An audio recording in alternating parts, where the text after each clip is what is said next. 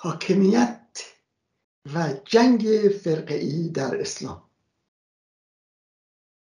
با درود گرم بر بینندگان گرامی تلویزیون برابری از سلسله گفتارها پیرامون مسئله حاکمیت در اسلام و پیوند اسلام با حکومت می‌پردازیم به جنگ شیعه و سنی و مسئله فرق گرایی در اسلام. چرا فرق گرایی به وجود آمد و زمینه این فرق گرایی چه بود و امروز چیست؟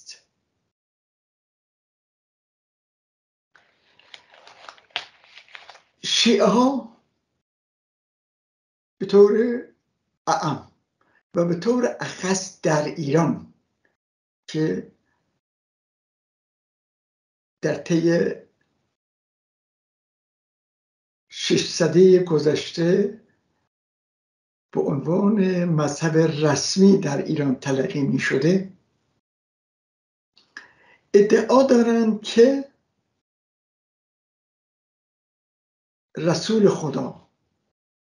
هم سمت پیامبری داشته و هم سمت امیری یعنی حکومت. و در زمان خودش حکومت را جانشین خودش را به علی واگذار کرده و پس از علی به فرزندانش می‌رسه.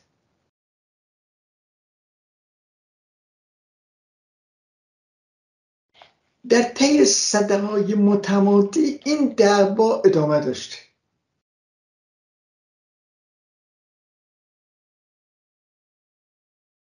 همونجور که در یک بحث دیگه هم گفتم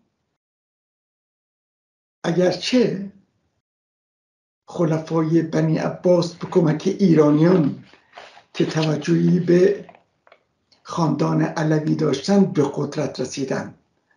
اما خلفای بنی عباس مذهب تسنن را پذیرفتند. و در سده سوم یعنی در سال 295 هجری قمری عبیدالله نامی که خود را از فرزندان زهرا می‌دونست یا فرزندان فاطمه می‌دونست؟ ادعا کرد که مهدی است. و البته پیش از اون گروه های شیعی در مصر و سودان تبلیغ کرده بودند.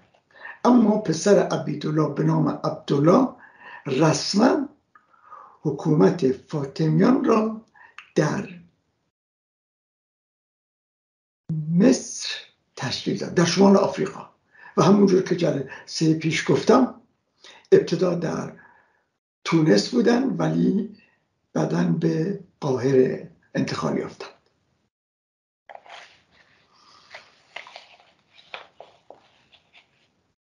امام ششم شیعیان امام جعفر در واقع مذهب شیعه را بنا نهاد. و چارچوب فقه شیعه را معین کرد. چهار تن از علمایی که تبار ایرانی داشتند به نوبه خود چهار مذهب اهل تسنن را بنیاد گذاشتند. البته به این آسونی و راحتی که من میگم نبوده. اینجا جوهر اختلاف شیعه و سنی.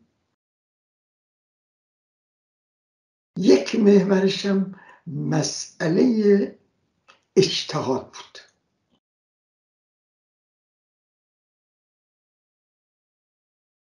تا سال 341 هجری قمری که المقتدر یا مقتدر بالله به سمت خلافت رسید در بین اهل تسنن هم باب اجتهاد باز بود. همون گونه که باب اجتهاد در میان شیعه ها هرگز بسته نشده. هنوزم دائره و هر شیعه که در یک مرحله آموزش می‌بینه وقتی که مجتهد شد حق اجتهاد پیدا می‌کنه. البته معمولا آیت الله های بزرگ از چنین حقی برخوردارن اما هر کسی که در جهان شیعه هست خودش یا باید مجتهد باشه یا باید مقلد باشه. اگر مجتهد باشه می‌تونه از کسی تقلید نکنه ولی اگر مجتهد نباشه لازم است که مقلد باشه و از یک آیت الله تقلید کنه. این بساط از همون در واقع دوران عباسی جاری شد.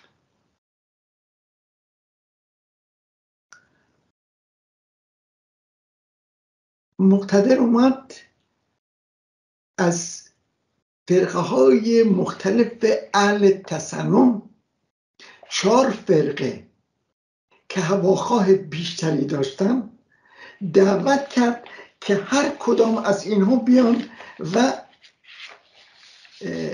در واقع ابواب فقهی مرجعیت خود را بیان کنند. این چهار نفر به ترتیب عبارت بودند از ابو حنیفه نومان که نومان ابن ثابت که مذهب حنفی را بنیاد نهاد. دومین فرد محمد ابن ادریس شافعی بود که پیروانش فقه اون را مطرح کردن. سومین شخص مالک ابن انس فرقه مالکی. و چهارمی احمد ابن هنبل فرقه هنبلی این چهار مذهب از دوره مقتدر در جهان اسلامی که تحت حاکمیت بنی عباس بود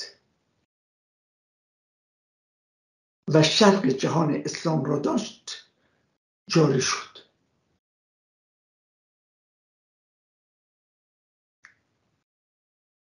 فاطمیان که در مصر به حکومت رسیدن شیعه دوازده امامی را قبول نداشتند یعنی شیعیان شیعه جعفری. بعدا شدن اصلا اشرین دوازده امامی. شیعه جعفری معتقد بود پس از امام جعفر پسرش امام موسی جانشین شده. اما اسماعیلی معتقد بودند که فرزند دیگرش به نام اسماعیل جانشین او شده. و در نتیجه فاطمیان نسب خودشون را به اسماعیل میرسوندن و این فرقه همچنان باقی بود. اسماعیلیان در حوزه حکومت بنی عباس عملیات تروریستی انجام دادن.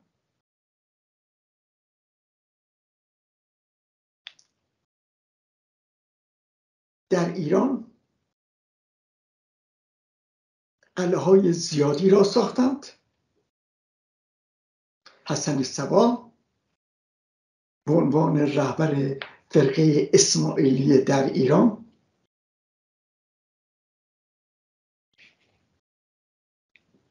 توانست توسط یادی خودش خاجه نظام الملک وزیر مقتدر ملکشاه و ملکشاه را در کاخ سلطنتی ترور کنه.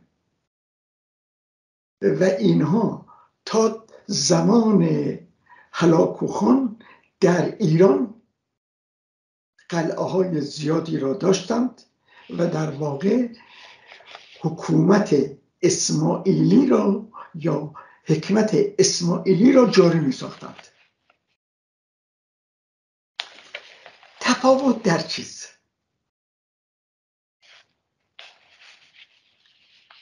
شیعیان خود را راحت کردن.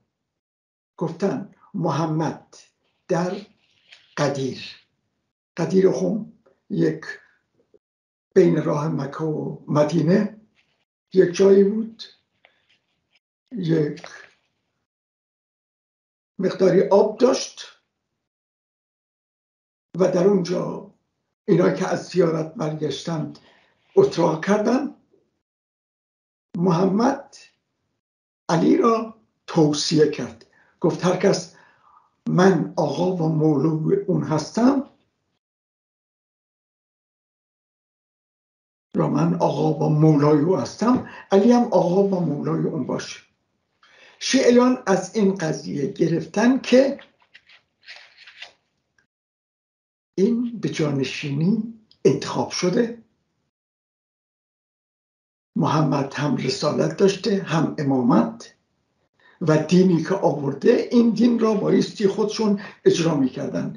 در نتیجه فرزندان محمد نسل بر نسل اگرچه محمد فرزند ذکوری نداشته و تنها چهار دختر داشتم جدای از اینکه یکی از دختراش هم باز به سم خودش فرزند داشته و این هم در واقع قضیه را کمی آبدار می‌کنه. یک اتفاق افتاد که هر دو طرف از بین رفتن. یعنی مغولا حمله کردن از طرف دیگر.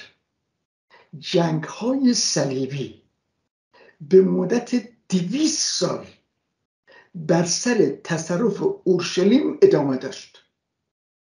و خلفای فاطمی می جنگیدن با مسیحیانی که از سر تا سر اروپا را می افتادن که بیان صلیب شکسته را از اورشلیم انتقال بدن به مقر پاپ در روم. و مسلمانان مقاومت می‌کردن. هلاکو خان اومد بسات خلیفه گری را در بغداد برچید. اما قبل از اینکه اون از بین بره آخرین خلیفه عباسی. دو تن از سردارای خودش رو به مصر فرستاد تا با خلفای فاطمی صحبت کنند. و به طور مشترک علیه مسیحیان بجنگن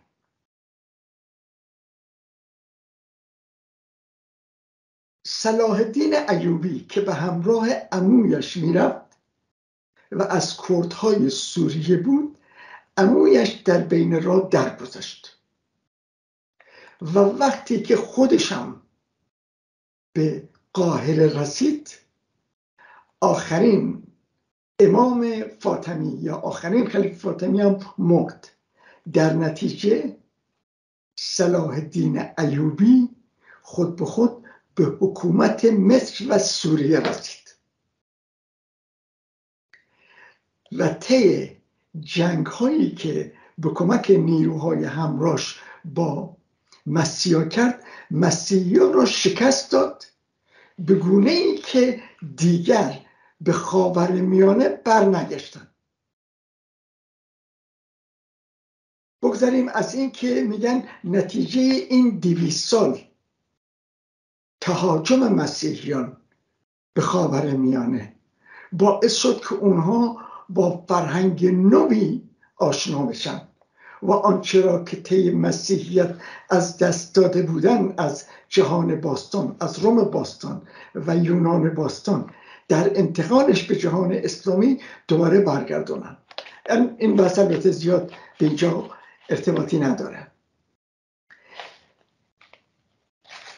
در همون زمانی که مغولا به بغداد لشکر کشی کردن یکی از فقهای هنبلی به اسم ابو تیمه یا احمد ابن تیمیه از بغداد به شام رفت به سوریه یا به حلب یا به دمشق.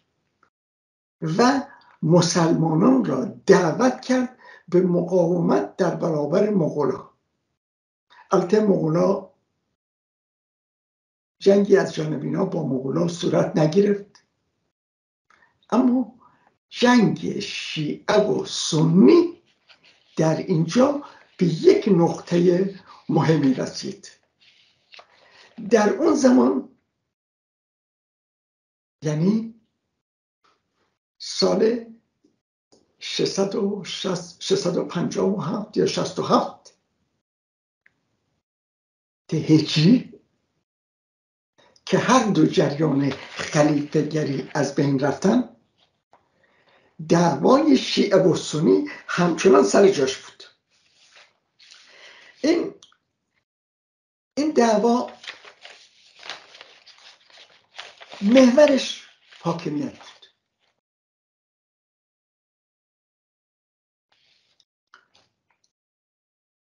یک شخصیت مهم شیعه که در اون عصر از امامت دفاع می‌کرد علامه هلی بود.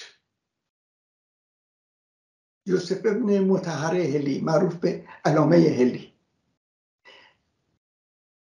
ابن تیمیه به این پاسخ میده.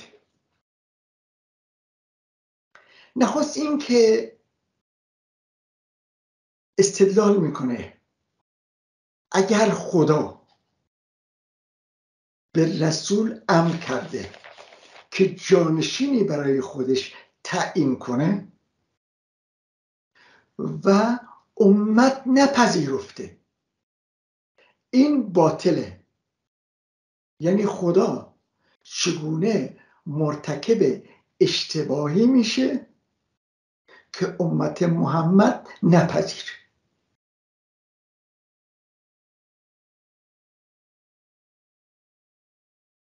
استدلال دوم.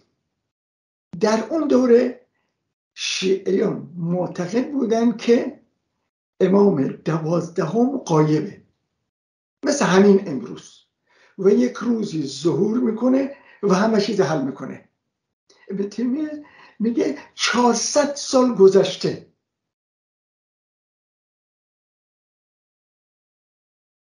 این استدلال استدلال باطل است.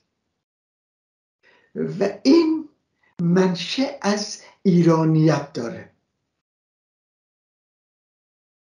خب تا اینجا که استدلال میشه پذیرفت. چرا؟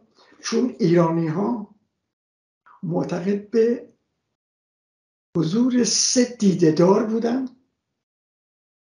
این سه دیدهدار یکیش سرداشته یکیش خشایارشاست و یکیش سوشیانته معتقدن که سوشیانت از جزیره زریوان در سیستان بلند میشه. البته ماجرا سه هزار ساله. اونم هنوز مثل که اون ته دریاچه خوابیده. خب این تقریبا میشه گفت که این اصطلاح را پذیرفت که در بین ایرانیان این رواج داشته یک کسی میاد حالا تبدیل میشه به نوه امام و فرزند امام. و امام دوازدهمی که رفت و پنهان شد تا روزی که بیاد اهل تصمیم میگن امامت از نبوت جداست. علی عبدالرزا هم که در بحث های آینده بهش خواهیم پرداخت همین استدلال را کرد. گفت اون چی که از جانب رسول آمده دو وجه داره. یک وجهش مربوط به حکومت ربطی به خدا نداره. یک بخشش مربوط به مناسبات انسان با خدا اون جز رسالت نبویه. و صحبت کردن از بیعت. و اهل حل و فصل. یعنی اده ای میان میشینن رایزنی می‌کنن میگن به چه کسی ابتدا کنیم حکومت بهش بسپاریم. میگه اما اگر قرار شد حکومت را به کسی بسپاریم حق داریم علیه حکومت ظالم هم قیام کنیم. اگر حکومت ظالم بود امت حق شورش داره. پس اون ور بیعت مشروط حاکم عادل باشه. سنت رسول اکرم و خلفای راشدین را اجرا کن.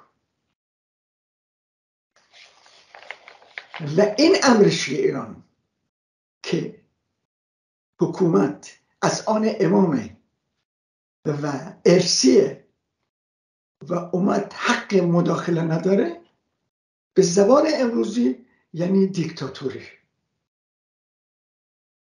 به خصوص در صده بیستم این استدلال دیگه بارستر و روشنتر می‌کردن.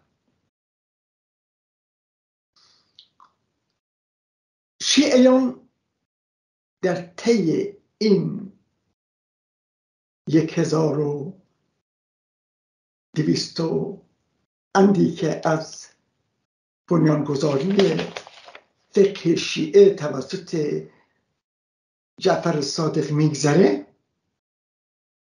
بر سر چند چیز آوازگری کردن. یکی بر سر همین قدیر خون. صدها جلد قدیریه نوشتن. یعنی یک اتفاق ساده ای که شاید ده نفر شنیده پنجاه نفر شنیده. امروز شده صدها جلد کتاب در این بحث دیگر این که مسئله کشته شدن علی و حسین را برجسته کردن. در حالی که دو تن دیگر از خلفا هم کشته شدن. هم عمر کشته شده هم عثمان. ملت شورش کرده. عثمان را به قتل رسونده. خب. به خصوص جمهوری اسلامی. از زمانی که سر کار اومده قدیریه را جشن می‌گیره. همین امسال چند کیلومتر در خیابان بساط شیرنی و مهمانی و قند و آجیل و شربت ریخت. این را جشن گرفت.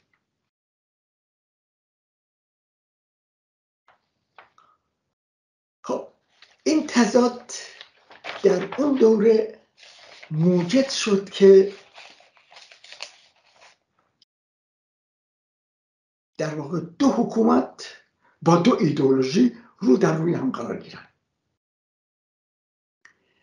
در ایران مغول ها پس از اینکه جنگاوری اولیشون از دست دادن شماری از اونها به کشور برگشتن در تمام آسیا به حکومت هند و چین و بخش دیگری از غرب آسیا رسیدن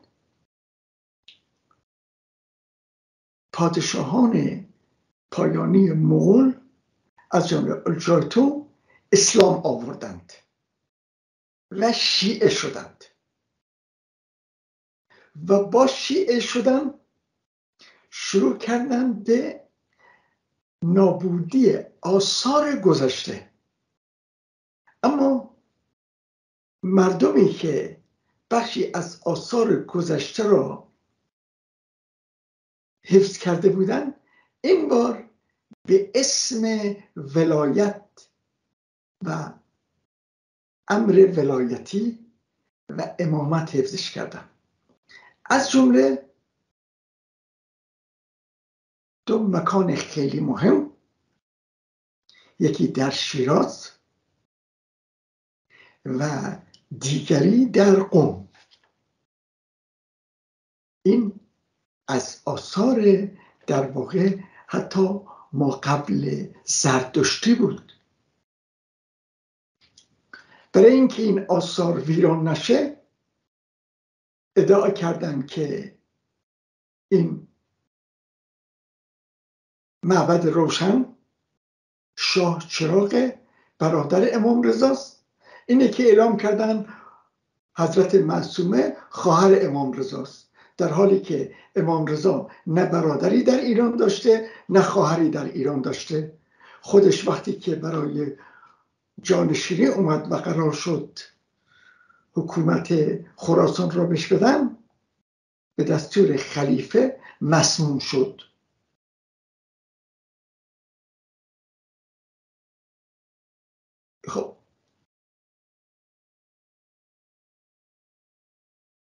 بسات ادامه داشت. پس از مغول ها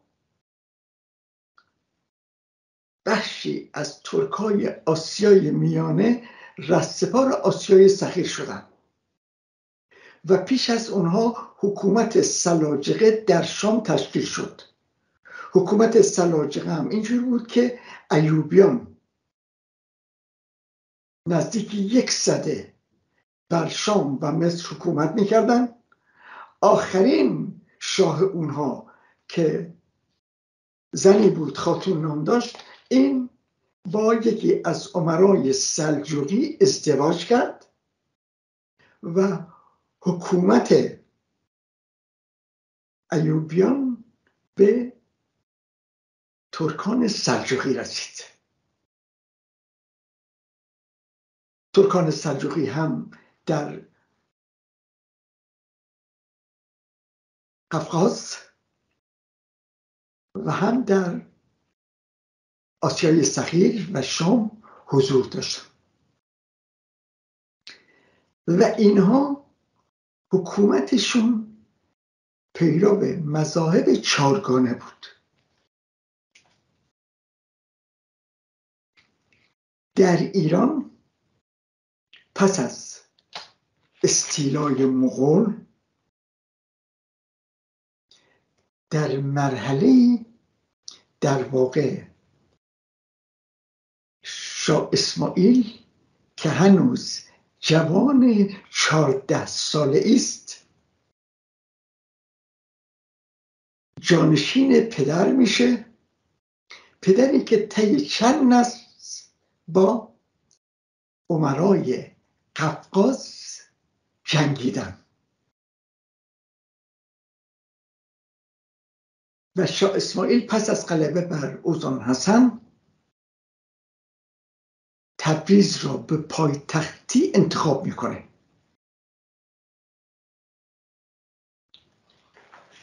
و پس از رسیدن به پادشاهی در سر تا سر ایران مذهب شیعه را به عنوان مذهب رسمی به رسمیت می‌شناسه. شهر به شهر و منطقه به منطقه با نیروی قزلباش را میفته و هر کس سب سه خلیفه اول نکنه از دم شمشیر میگذرونه. شیعیان مدتهای مدید بدگویی از سه خلیفه اول نمی‌کردن از عثمان می‌کردن ولی از عمر و ابوبکر نمی‌کردن. به این اعتبار که ابوبکر پدر زن محمده عمرم فاتح اسلام و کشورهای زیادی را مسلمان کرده.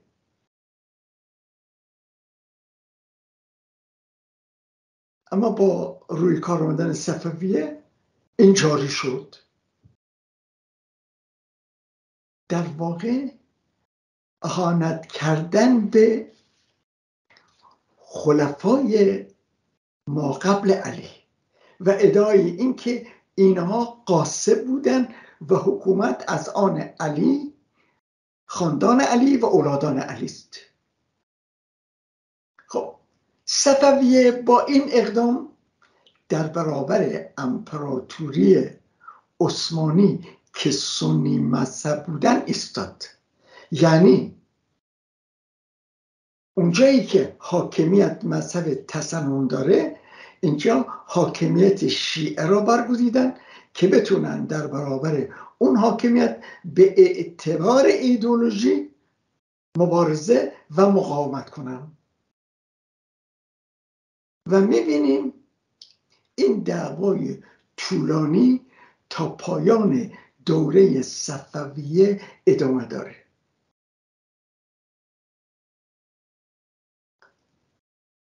خب با روی کار اومدن صفویه مذهب رسمی ایران شیعه شد. ترویج خرافات از این دوره آغاز شد. این سینزنی این قمزنی همه اینها از صفویه در اومد.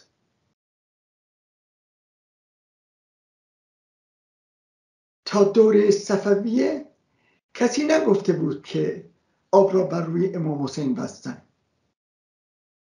حالا حسین کاشی نوشته ای را که پیش از به قدرت رسیدن شاه عباس نوشته بود شاه اسماعیل توسط صفویه پخش شد. گسترش پیدا کرد که آب را بر روی امام حسین و یارانش بستند امام حسین دختر خردسالش دست گرفت تیر زدن کشتند. عباس رفت آب بیاره دست زدن دستش بریدن با اون یکی دست آب برداشت اون یکی دستش بریدن تمام این لاتائرات از دوره صفویه جاری شد که تا به امروز هم همچنان جاری است. یعنی وجه بارز شیعیگری در برابر سنیگری یک محورش حکومت بود. وقتی سنیا بر شرق حکومت کردن شیعه ها رفتن به غرب.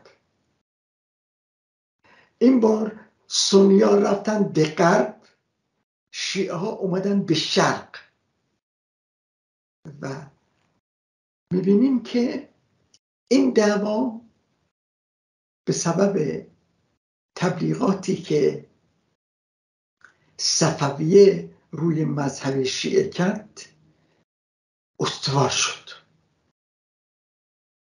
نادرشاه وقتی که سر کار اومد بر آن بود که اختلاف شیعه و سنی را حل کنه. نادرشاه البته شخصا شاید هیچ اتحادی نداشت ولی تبار شیعه داشته تبار سنی نداشته نادرشاه با عثمانی ها وارد مذاکره شد که شما توافق کنید.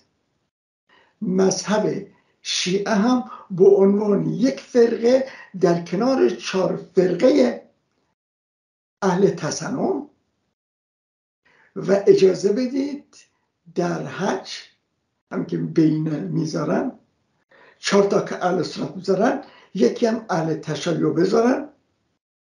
نماینده شیعیان هم در مراسم حج حضور داشته باشه اما اگرچه نادر زورش می‌رسید به شیعیان تنگ کنه علمای سنی زورشون به امپراتوری عثمانی رسید و اجازه ندادن. خب شیعه هم خب سر در آوردن. نادر البته سخت اونها را تنبیه کرد و شیخ عبدالحسین نامی یا میرزا عبدالحسین نامی که از علمای ارشد بود گرفت و اعدام کرد. یعنی از میان پادشاهانی که در واقع از پس از صفویه اومدن دو تن هستند که یکی نادرشاه در برابرشون با این قاطیت میفرسه یکی رضاشاه اون هم در سالهای پایانی یعنی از 1900 1316 نه پیش از اون که البته عمرش بقا نکرد و چیز شد. خب این جنگ شیعه و سنی تا مادامی که حکومت عثمانی برقرار بود وجود داشت و بارها درگیری شد. حتی نادرم با عثمانی جنگید. شاهان صفوی جنگیدن نادرم جنگید. در دوره قاجار هم این درگیری ها مرتب بود. اگرچه در دوره قاجار دیگه مسئله حضور انگلستان در منطقه و حضور یک جریان اسلامی به نام وهابی اوضاع را به اصطلاح پیشیده تر کرد.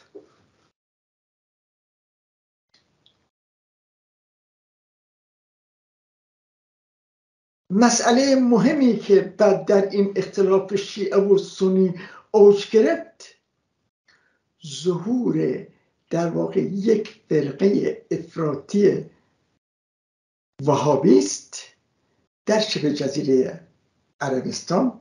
شبه جزیره عربستان بخشش شیعه هستن بخشش باز به سهم دیگر زیدی اونم شیعه هستن ولی اکثریتش اهل تسننه. اما اون وهابیا که به قدرت رسیدن اماکن شیعه را در عراق بارها ویران کردن. و کشتن هر شیعه را مجاز می‌دانستند مثل همین جریان داعش که چند سال پیش اومد و خیلی راحت هر کدام از علوی ها رو که می‌گرفت در جا اعدام می‌کرد. شیعیان را هم مسلمان درست حسابی نمی‌دونست. شیعیان را هم مسلمان منحرف می‌دونه اما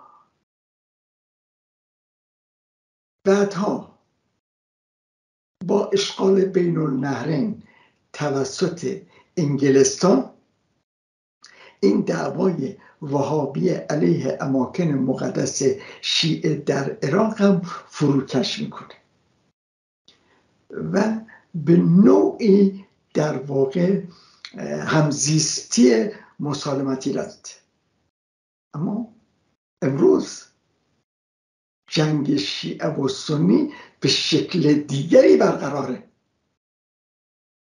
هرچند در گفتارهای آتی خواهیم گفت که تلاشهایی برای حل مناقشه شیعه و سنی صورت گرفته. نزدیکی هایی صورت گرفته. اما امروز همچنان جمهوری اسلامی یک سوی قضیه است حکومت های اهل تسنن به خصوص عربستان سعودی و ترکیه سمت دیگر این دعوا. دعوایی که چه بسا به یک کشمکشی جدی هم مبدل بشه در یک شرایطی و در یک زمانی. امیدواریم که نشه.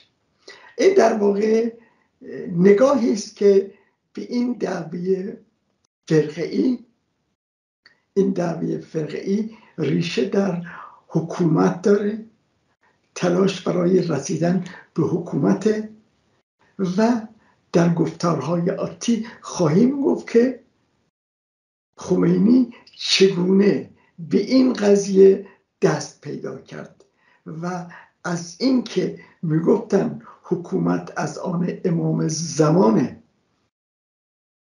هر حکومت دیگری غیر از امام زمان باطله. چه شد که خودشون اومدن این باطله ها حکومت را پذیرفتند و امروز حاکمیت خودشون را حاکمیت امامتی می‌دونم در گفتارهای بعدی خواهیم پرداخت.